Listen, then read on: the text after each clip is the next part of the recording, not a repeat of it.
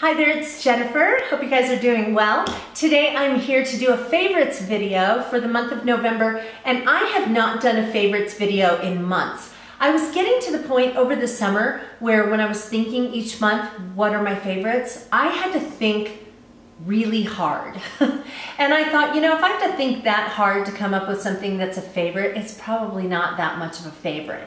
But in the last month, I really have been using a few things that I think, you know, I, really like this. I'm so glad I have this. And then all of a sudden it dawned on me, Jennifer, do a favorites video. So I am going to do a favorites video here and I have three products to share with you. Um, the first one, well, two of them are eyeshadows. So the first one is one that I got in an Ipsy bag a while back and I didn't even use it right away because I wasn't really sure what to do with it. It's an eyeshadow by Pacifica and the shade of this eyeshadow is Ethereal. It is, it looks kind of like a tan. Um, I'll pop in a picture so you can see this better. Um, it is very, very, very light. Let me see if I can, can, can you see that right there? Um, really light, and I thought, what am I supposed to do with this? Well, what I've been doing with it is using it as a highlighter um, just under my brow bone, and also I put it in the corners of my eyes.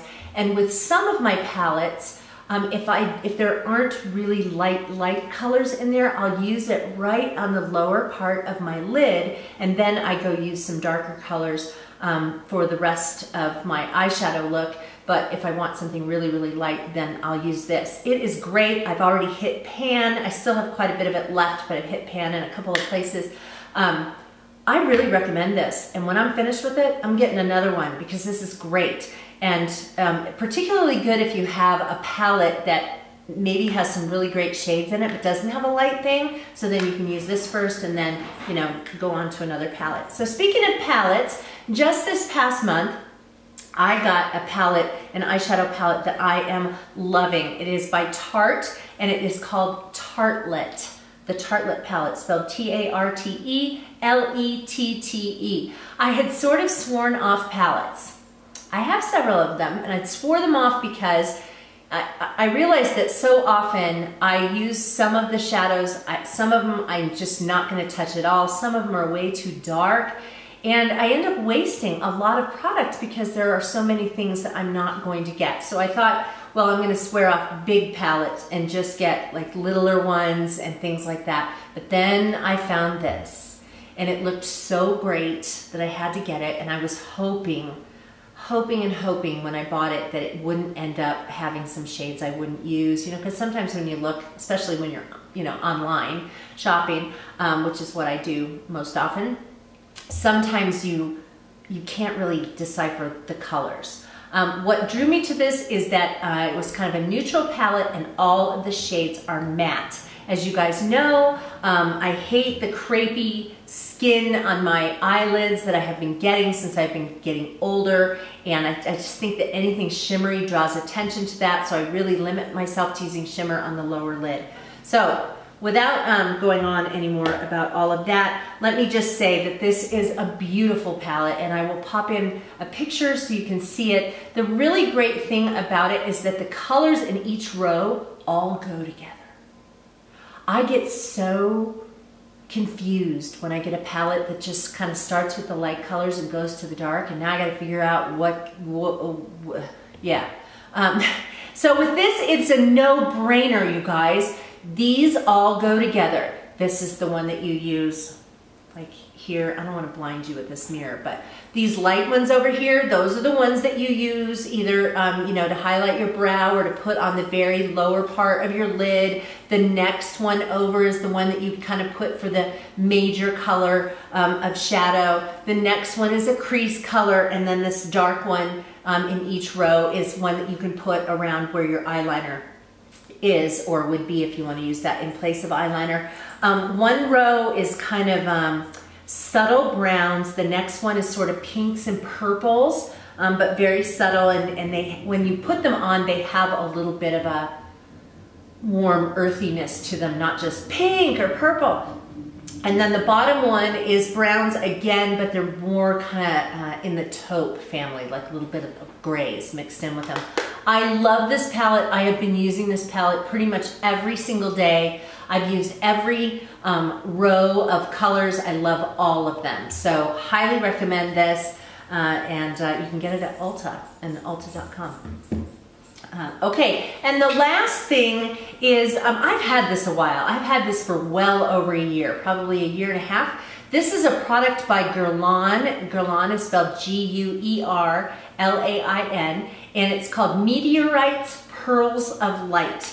Now, when you open this up, you'll see that there are these little pearls in here. I'll snap a picture so you can see it close up. The pearls are different colors. They're like lavender, white, yellow, kind of a mauve color. And um, they are basically pearls of powder. So you take a brush and you kind of swirl it around in here and then put it on your face. You can just slap it on you and you have to look in the mirror when you put it on.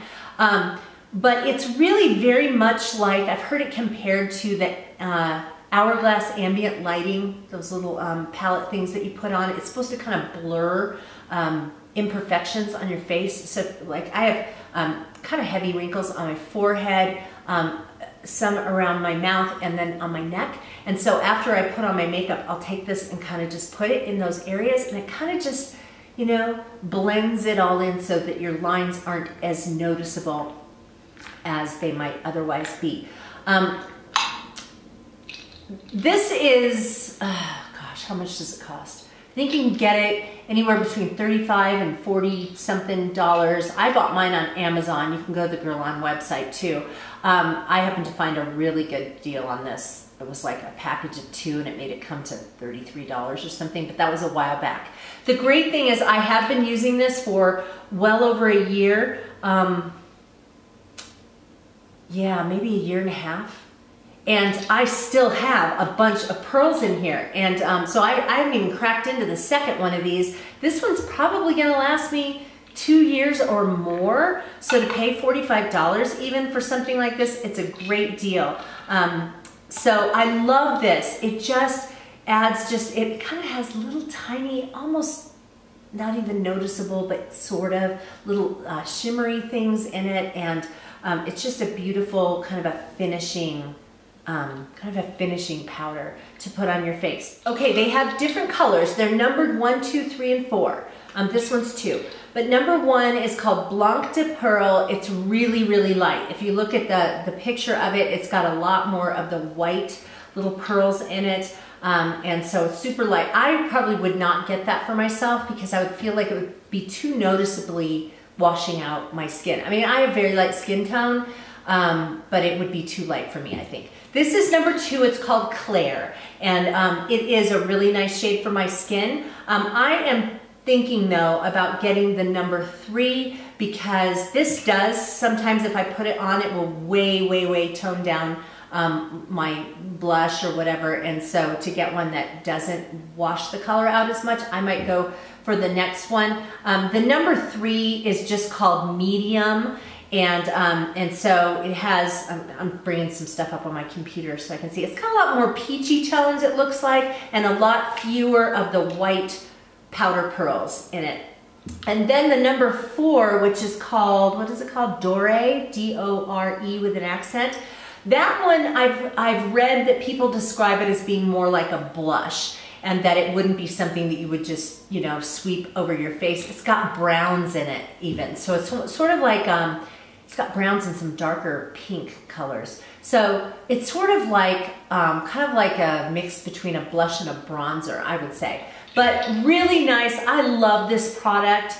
And um, yeah, if you're looking for some for a really good finishing powder and something that does sort of the same thing that the Hourglass Ambient Lighting does, but actually for the amount of product you get, it ends up being cheaper. Then um, ounce for ounce, it ends up being cheaper than the Hourglass product. So those are my favorites for the month of November. If you have anything that you have been loving for the last month or so, love to hear about that. So if you would comment in the space below, I'm sure we'd all love to see that. Um, if you're not currently subscribed to my channel, hit that button. YouTube will let you know when I um, upload new videos, which is several times a week. So I hope you guys are doing well, and I hope I will see you again on Busy Being Jen. Take care, you guys. Bye-bye.